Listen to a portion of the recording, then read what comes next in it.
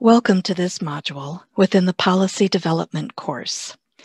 This module is titled Parts of a Policy, Procedures, and Guidelines. I'm Bonnie McEwen, consultant for the Northwest District Office of the State Library, you're welcome to contact me with any questions following this class.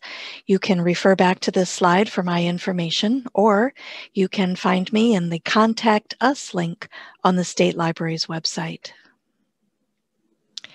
In the first policy module, we looked at the need for libraries to develop policies, along with the role that the library boards and directors play in that process. In the second module, I introduced Policies for Results, a book from the Public Library Association. We looked in detail at the first two parts of a policy, philosophy and regulations.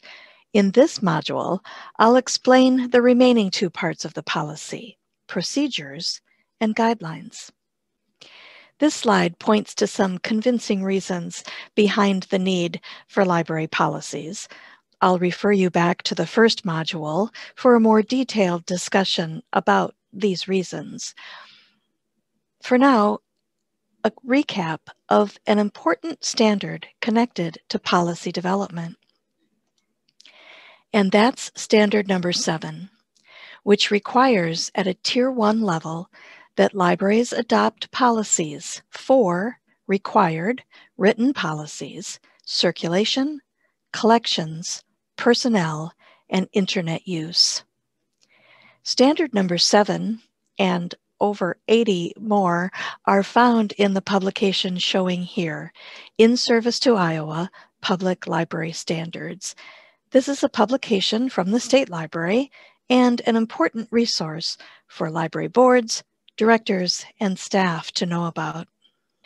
There are lots of potential subtopics within the broader category of a circulation policy. Many of them you see on this slide. Interlibrary loan is highlighted here because, like last time, I'm going to use interlibrary loan as a way to apply the ideas from policies for results. We've established that library boards have a great deal of authority over library operations, including developing policy. But it's also true that the work of writing policies is collaborative work. It also involves the library director and the staff.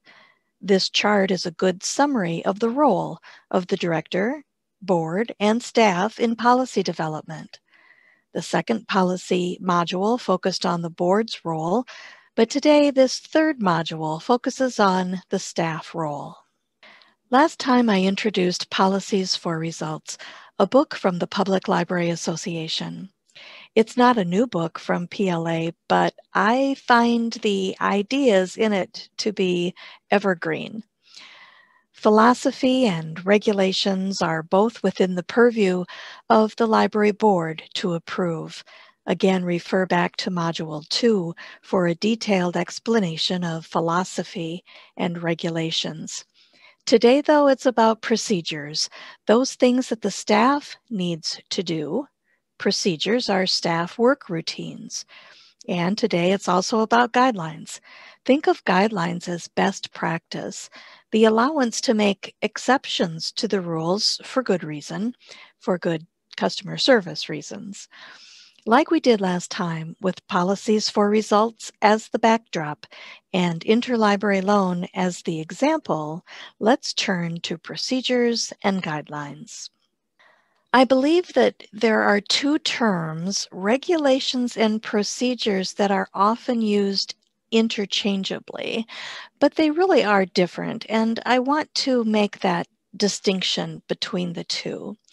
Regulations are those things that library users need to know in order to use library service to best advantage.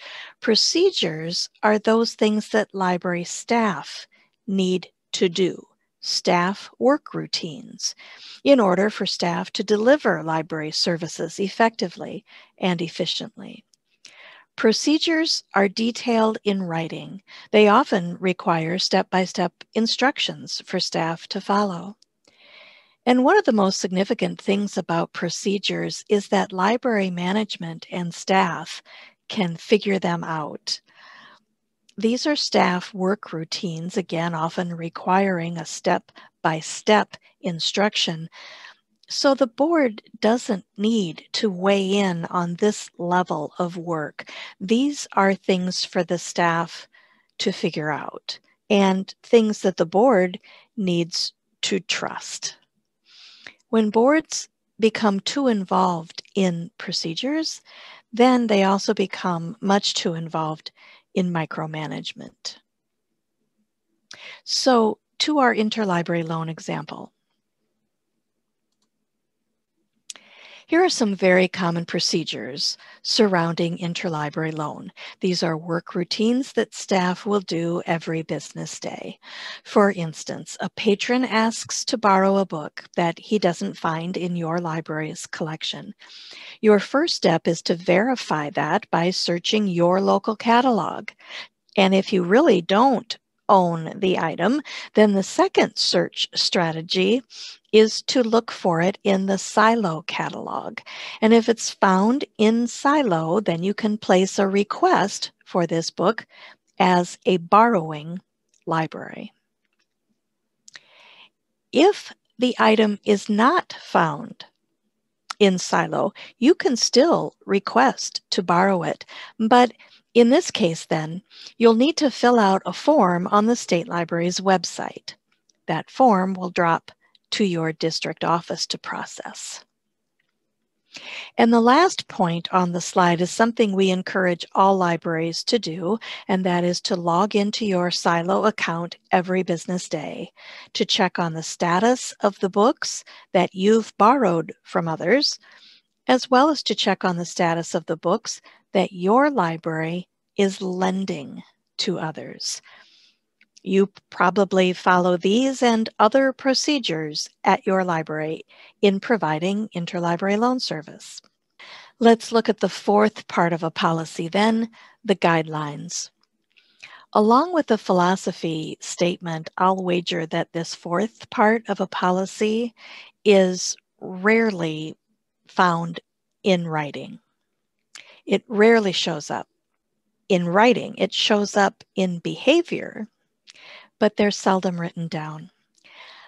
Like unlike regulations, which really are intended to be rules that are intended to be followed, think of guidelines as best practice. Think of guidelines as the ask. What do we ask of people in terms of personal responsibility? Here's an example you're in a movie theater. the previews are winding up, and this message comes up on screen. We thank you for silencing your phones. Enjoy the show. Well, no one comes down the aisle of the theater to confiscate your phones, and you're not required to drop off your phone at the popcorn counter before going into the theater. A guideline is what we ask of people using public spaces. So, as I said, best practice does show up, but it shows up in the doing in staff behavior and in customer service. It shows up in meeting and greeting and assisting people who use the library and all it offers what if these kinds of best practices were actually written down more consistently so that all staff could see them and adapt these best practices when similar situations come up? To our interlibrary loan example. Here are some suggestions for guidelines surrounding interlibrary loan. All staff will be trained in interlibrary loan procedures and able to provide that service during all library hours. That's a great guideline because it speaks so well about good customer service. Staff will use the Iowa Shares van delivery service as frequently, as consistently as possible. And staff will continually develop and encourage new approaches to providing interlibrary loan service, finding new techniques. You can probably think of other best practice guidelines that you are already using at your library when providing interlibrary loan. One of the best ways to update job descriptions is to ask the person doing the job ask for that input, that firsthand knowledge from the person who is doing the job. Well, the same concept applies here. Staff should feel that they are free to make suggestions and offer input at any step along the way. Staff certainly should understand the process and respect the various roles that the board and the director play. But frontline staff are referred to that way for good reason. They are the ones on the front lines. They are the ones on the service desks interacting with patrons every day. They hear about patron frustrations. If people are frustrated by rules and regulations that feel burdensome or illogical. So, staff really should bring those encounters up for discussion and make suggestions for improvement. And then understand that many times rules need to be followed and for good reasons. So staff need to be able to explain policy regulations and implement them as fairly and as consistently as possible. A frequent question that comes from hearing about policies for results in the four parts of a policy is this question Should staff procedures be pulled out from the rest of the policy handbook and kept separately? And for me, my answer to that question is yes. I think so. I think it's more convenient and it's more logical to have a procedures manual readily accessible for the staff, filed apart from the formal policy philosophy and regulations that the board approves. Because procedures are staff work routines, they should be kept where staff can easily find them. Filing procedures in a three ring binder is fine. It's pretty typical, actually. But as more and more things in our lives are saved to the cloud, you might want to consider using cloud based products like Google Docs or Microsoft OneNote or even Live Binders. Live Binders is a website that allows you to create digital binders with the same look and feel of the familiar three ring binders that we all have sitting on our shelves. Easy to access, easy to share, and easy to update your live binders from anywhere. To help reinforce these ideas, let's set aside interlibrary loan and look at, a, look at a few other policy topics that are also good examples of procedures and guidelines. While this example is not associated with a specific library, it is a good example of procedures associated with an internet policy. So for instance, staff will record daily internet uses and then dispose of the daily sign-in sheets at the end of every business day. Staff will announce that the library is closing 15 minutes prior to closing to ensure that internet users can finish up. And staff will maintain current fact sheets and navigation guides and display holders next to all public computers. No doubt you can think of other staff work routines connected to people using the library's public computers. This is a nice example from Atlantic Public Library. Here, Atlantic has identified some guidelines surrounding their circulation policy. You can see how these guidelines speak to best practice. For instance, Staff can change the due date for the following reasons. If patrons are not able to make it in due to bad weather, if patrons have been sick or in the hospital and unable to make contact with the library, If a patron has lost an item and has acknowledged that but would like a little extra time to look for it, or maybe a patron has returned an item but with a missing piece or two. You can see how these guidelines from Atlantic Public Library connected with their circulation policy sets up some very good customer service exceptions to the rules. Best practice behavior. This example from Urbandale Public Library I like very much because this strikes me as a guideline behind Urbandale's meeting room policy. Urbandale is big enough to have a couple of public meeting rooms that subdivide. What's circled on the slide here takes people to photos of how the meeting room could be set up. So because guidelines speak to best practice, what a nice practice this is.